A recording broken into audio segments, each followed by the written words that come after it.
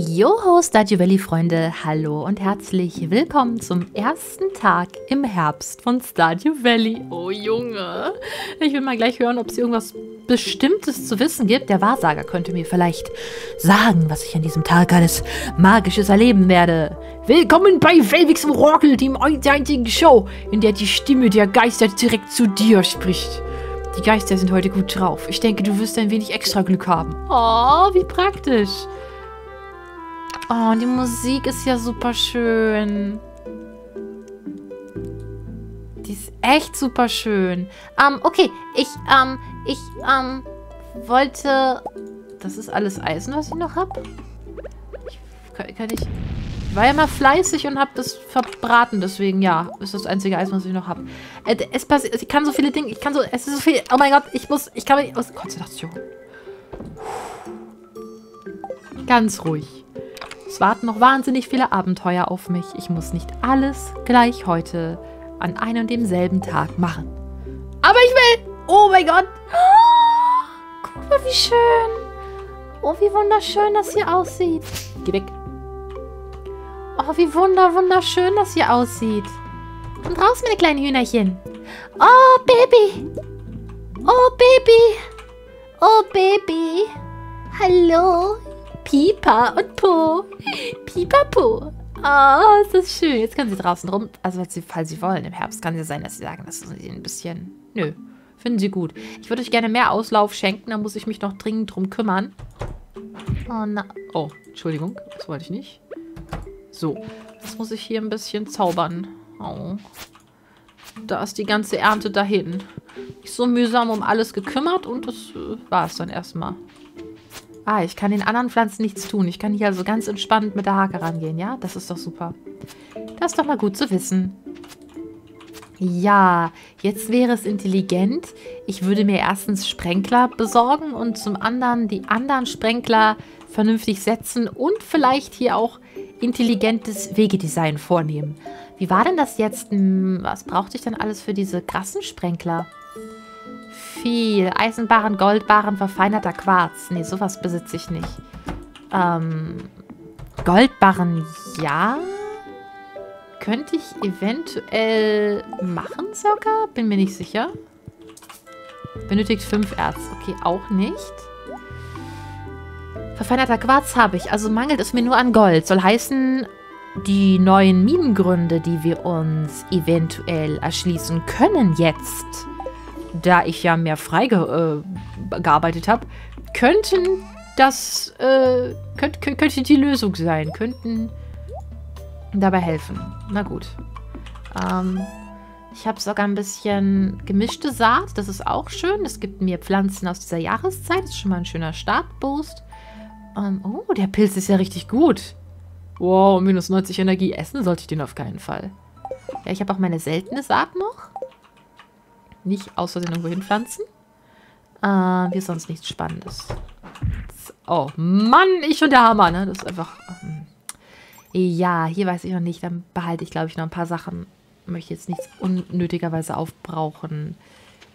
Wenn ich jetzt hier noch einen Sprenkler hinstellen würde, wäre das super. Ich glaube, ich hole mir mal gerade Holz, Leute. Und ich markiere einfach schon mal ein bisschen was. Wir markieren einfach schon mal ein bisschen was. Wir bauen vielleicht auch schon mal ein bisschen was. Ein bisschen hier ausbauen. Auch die Zäune eventuell ausbauen. Na, ich meine, theoretisch könnten wir das ja wirklich bis da runterlaufen lassen. Ich sehe jetzt nicht das Problem. Oh mein Gott, seriously? Ich habe gerade mit meiner Axt... Ich habe... Oh, wow. Alles klar. Oh, pass bloß auf, wo du mit deiner Axt hinhaust, Mädchen. Puh. Das habe ich ja gut gemacht. Das ist mir fast nicht peinlich. Oh Gott, das ist ja schrecklich. So, ein Dekopfad. Der Dekopfad. Kommt immer dahin und dahin, da, dahin. Konnte man das nicht irgendwie... Nee.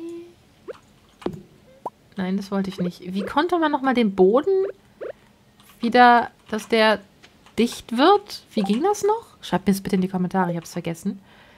Ähm, ich würde jetzt hier einfach mal da, wo ich sage, jo, da möchte ich später Sprenkler haben, was platzieren. Mm, das muss umgebaut werden. Da brauchen wir einen anderen Zugang zum Wasser. Das ja kein Problem. Da unten ist ja sowieso noch ein bisschen Platz. Zack. Da können wir nämlich hier den Zugang zum Wasser machen. Ich pflanze dann schon mal das dahin. Und das hier und das hier. Wobei, das ist zu dicht. Die machen ja immer einen breit. Moment. Eins, zwei. Oh, ich bin gerade. Ich habe gerade Probleme. Moment, ich habe gerade Probleme.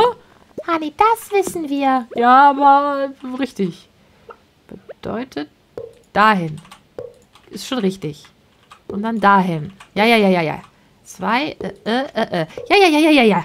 Bin ich doof. Hab deshalb, manchmal brauche ich länger. Das ist okay. Jeder darf mal länger brauchen, wenn er denkt. Und so. Äh, dann mach ich mal gerade mal ein bisschen Zaun. Warte mal. Eins, zwei, zack. Zwei, zwei, zack. Eins, zwei und weg mit dir. Was auch immer da gerade passiert ist. Und weg mit dir. Cool, da gab es sogar ein bisschen Holz. Sehr gut. Das wäre dann also das, was ich mit den Sprenklern erstmal achieven will. Hier ist es gerade mir gar nicht mal so wichtig. Ah, hier drüben hatten wir ja Gott sei Dank alles mit dem voll. Ja gut. Oh Gott, es ist schon 12 Uhr und ich habe noch gar nichts geschafft. Ah, es ist so bezaubernd. Es sieht so unglaublich hübsch aus. Ich möchte natürlich auch gerne ähm, die ganzen neuen Früchte kennenlernen und mir das alles in Ruhe angucken. Aber es ist halt einfach schon wieder... Krieg ich noch Heu dazu? Nicht mehr so viel, das ist alles voll, ja. Es ist so, es ist, es ist so viel, was ich machen kann. Ah, oh Gott. Und ich muss ja auch anbauen. Ich sollte halt heute, wenn ich kann, noch anbauen. Wir kümmern uns heute wahrscheinlich um nichts anderes. Gerade ein bisschen Holz zurückgewinnen, wenn wir schon hier sind. Da gibt es ordentlich Hartholz. Das wäre auch wichtig. Zack. Äh, wir wollen das ein bisschen ordentlicher machen. Das bedeutet, ich muss mir diesmal Gedanken machen, wo ich was hinbaue. Das wird nix, das weiß ich jetzt schon. Ich mache mir mal gerade den Weg hier frei, um da auch noch Zaun hinzupacken. Dann wird das nämlich hier ein riesengroßes Feld. Krass, es ist nichts runtergefallen. Krass. Äh, ne? So. Das war ja so auch der Gedanke. Eigentlich nicht, aber... Hier auch wieder offen lassen. Aha, aha, aha, aha. Einfach hier runter und dann kommt hier unten noch ein großes... Ah, das ist mein Handy klinge, was los? Ah, oh. Alter, ich habe mich gerade so von meinem eigenen Handy erschrocken. Das könnt ihr euch einfach gar nicht vorstellen. Okay, vielleicht kennt das der ein oder andere von euch halt auch, aber ich habe mich da schon ein bisschen verjagt. Ähm, nee, unten, ja, unten möchte ich noch gar nichts machen. Das kann ich, Gras kann ich nicht wegmachen, ne? Dann brauche ich das hier gar nicht machen. Kann man Gras irgendwie wegmachen? Auf dem Boden, um das Feld zu bestellen? Brauche ich da eine krassere Hacke, um das zu machen? Schreibt es mir mal bitte in die Kommentare. Ich bin immer auf euer... Oh, das war ein Sprenkler. Naja, ich bin immer auf euer äh, Fachwissen angewiesen, aber das wisst ihr ja schon. Ja, einen Sprenkler kann ich ja ruhig auch platzieren. Der macht dann Guck mal, der macht hier drumrum. Dann macht der... Ne, das ist albern. Dann, nee, das ist auch albern. Dann macht der hier so drumrum. Pflanze ich jetzt einfach auch mal gerade um den Sprenkler drumrum an. Damit ich mich einfach um die Sachen schon mal nicht mehr so krass kümmern muss. Ich hoffe, das passt. Und ja, hier muss ich auch nochmal gießen. Ähm, Gott. So viel zu beachten, so viel zu, zu denken, so viel zu tun. Und es hat gerade erst angefangen, aber lass mich dadurch nicht stressen. Ich mache das, was ich tun kann. Übrigens ist was sehr Schönes, was Stadio Valley einem beibringt. Äh, nicht nur Arbeitsoptimierung, sondern auch dieses, ähm, ja, wie soll ich sagen, einfach das Beste geben, was man geben kann, damit zufrieden zu sein und den Fortschritt, der, durch, der dadurch resultiert, ähm, zu akzeptieren und anzuerkennen. Ich bin nämlich auch immer jemand, ich würde mich gerne zweiteilen und ich arbeite gerne mal zwölf Stunden am Tag. Und dann muss ich mir einfach mal sagen, es geht nicht mehr. Manchmal, manchmal, hier hatte ich schon gegossen, ne? Genau. manchmal geht nicht mehr. Manchmal muss man einfach mal akzeptieren, dass, dass, dass, an, dass man an ein Limit kommt. Da macht es auch keinen Sinn mehr. Es gibt wichtigere Dinge im Leben. Aber natürlich muss man sich klar sein, wo die Prioritäten liegen, ob es gerade aktiv wirklich wichtigere Dinge gibt. Wenn das sehr wichtige Dinge sind, die man zum Beispiel erledigen muss, dann muss man sich da auch mal hintersetzen. Dann kann man auch stolz auf sich sein, dass man das hingekriegt hat. Aber ich, ich denke, ihr wisst, was ich meine. Ah, Stadio Valley lädt immer ein, über solche Themen zu reden. Das finde ich so schön. Haben wir hier schon gegossen gehabt? Ja. ja ich, ich, ihr wisst, ihr habt ein Siebgehirn, ne? Ich vergesse das halt nach drei Sekunden schon wieder. Ah, nee. Zack. So, da kann all das jetzt erstmal rein. Und da, da, da, das. Ich noch irgendwas anpflanzen? Nein. Hätte düngen können, das wäre intelligent gewesen. Ich würde aber auch gerne den besseren Dünger machen. Oh Gott, ich sollte einkaufen gehen. Oh Gott. Oh Gott, es ist schon zu spät. Nicht, dass das jetzt schon vorbei ist und zu und ich kann nicht mehr einkaufen gehen. Eine Beere. Eine Wildpflaume. Oh, lecker. Ich mag Pflaumen. Vor allen Dingen mag ich den Geruch von Pflaumen. Ich finde, Pflaumen riechen ähm, so... Oh, das ist, das ist ja dieser ganz eigene Geruch. Ja, Moment, ich muss erst mal einkaufen, falls ich noch kann. Ja, ich kann noch einkaufen. Hallo. Oder auch nicht. Komm zurück, wenn Pierre im Laden ist. Pierre? Die Herbstsaat ist hier. Im Winter wachsen keine Pflanzen, also ist das deine letzte Chance bis zum Frühling. Hau es ordentlich rein. Pierre, geh an deine Kasse, Pierre. Pierre! Pierre! Pierre! Pierre! Pierre! Oh nein, der Laden hat schon geschlossen, ne? Oder? Ja. Ach oh Mann, ich bin zu langsam gewesen. Ich trottel. Äh, einen roten Pilz. Aber mein toller roter Pilz. Morgen hat Penny Geburtstag. Ich mag Penny. Penny ist cool. Na, es ist halt einfach schon super spät. Ja, schnell an der Mülltonne wühlen. Ne? Sieht gerade kein... Oh. La la la la la la la da da da da da da da da da Oh. La di du, ihr seht das gar nicht. Ich bin gar nicht hier. Meinst Okay, es war nichts Tolles drin. Oh, Mann, ich. So viel. Oh, die Herbstdekoration. Es ist alles so, so süß und bezaubernd. Ich habe noch gar nicht alles angucken können und so viel zu tun und ich habe vergessen, Saat zu kaufen, aber ich habe alles vorbereitet dafür. Das ist ja auch wichtig. Wimme, Wimme! Vögels. Oh. Ui, Steine. Vögel! Mehr Würmer? Nein? Die Mupfel. Oh, jetzt sind hier süße kleine Pilze an der Tür. Oh, Entschuldigung, ich wollte nicht so laut klopfen. Na, ist verschlossen. Na gut, hätte ja sein können. Sein könnte, dass ich mit einer Mupfel reinkomme oder sowas. Nehme ich auch mal mit. Hab einen Tag verschwendet, weil ich ein kleiner Dussel bin. Ja, ja, so bin ich. Vielleicht habe ich ja Glück und es regnet morgen. Dann kann ich wenigstens ganz gechillt anpflanzen. Das wäre auch nicht schlecht. Habe jetzt auf den Wetterbericht nicht äh, so geachtet. Sollte ich zu Hause nochmal machen. Die Zeit geht halt einfach auch so schnell vorbei. Ach, Manu. Ach Manu, ich will noch so viele Sachen machen. Ach Mann. Ah, oh, Sonnenblumen. Boah, Sonnenblumen, ich liebe Sonnenblumen.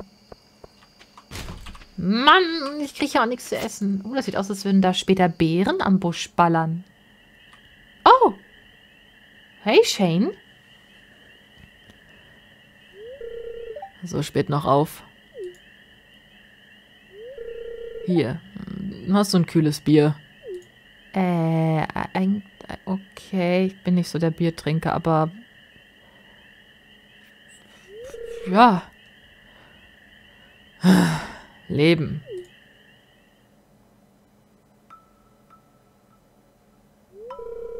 Hast du jemals das Gefühl, dass du bei jeglichen Vorhaben einfach nur scheitern wirst? Als würdest du in irgendeiner elenden Leere so tief feststecken, dass du nie wieder daraus entkommen kannst? Ja, manchmal schon. Egal, wie sehr ich mich anstrenge, ich habe das Gefühl, ich bin nicht stark genug, um aus diesem Loch zu klettern. Ja, ich sag ja, das ist auch dann, wenn man sich noch so bemüht und bemüht und bemüht und bemüht und über seine Grenzen hinausgeht und dann keinen Erfolg bekommt. Das kann echt wehtun.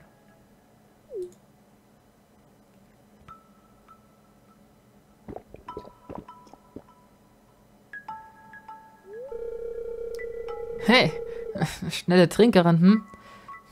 Frau ganz nach meinem Herzen. Mach's dir nur nicht zu, zur Gewohnheit. Du hast immer noch eine Zukunft vor dir.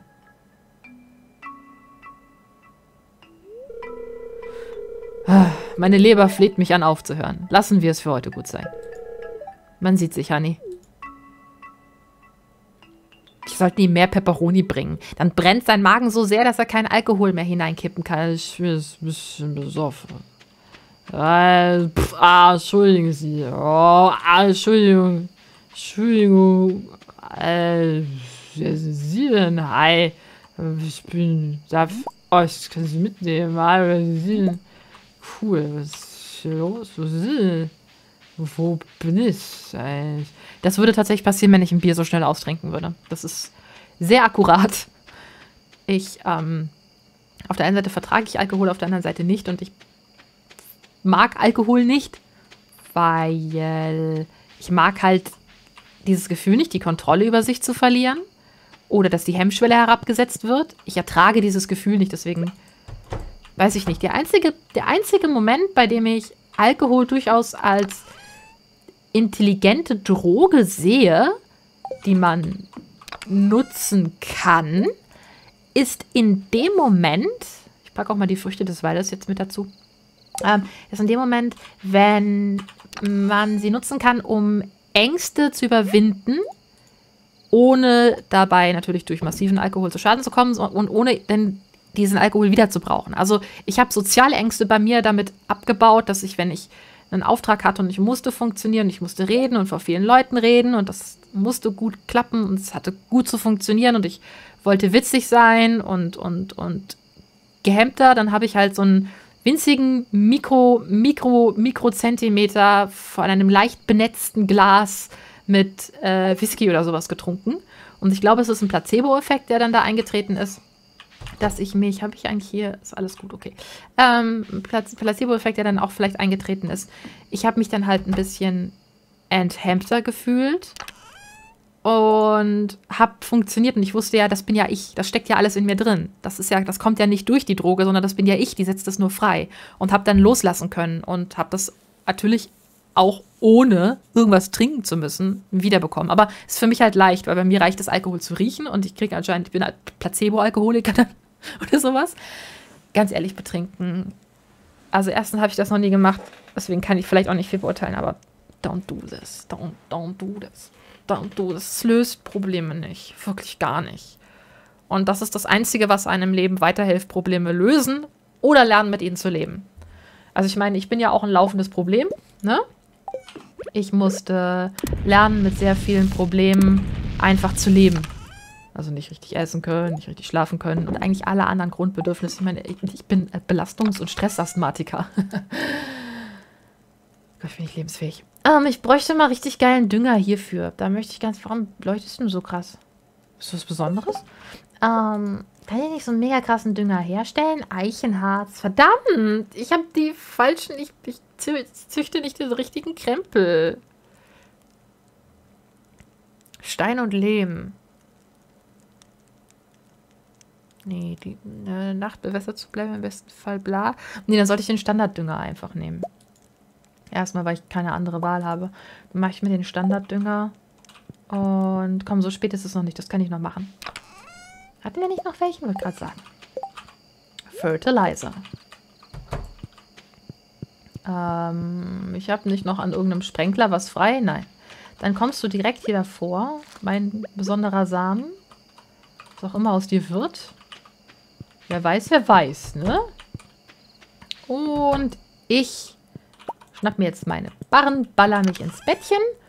Und ich freue mich wahnsinnig auf diesen Herbst zusammen mit euch. Das wird bestimmt großartig. Wir sehen uns das nächste Mal wieder bei Star Dew Valley im Herbst, wenn ich dann vielleicht auch endlich mal was gepflanzt kriege. Und vielleicht kann ich auch bald in die Minen gehen. Und dann erleben wir ganz viele Abenteuer in dem neuen Minenabschnitt, der wohl sehr viel härter sein soll. Oh.